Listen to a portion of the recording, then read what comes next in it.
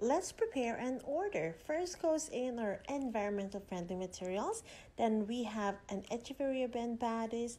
I have also chosen a Dionysus. And next would be our Pachyveria Scheideckeri. And last but not the least is this gorgeous Melaco.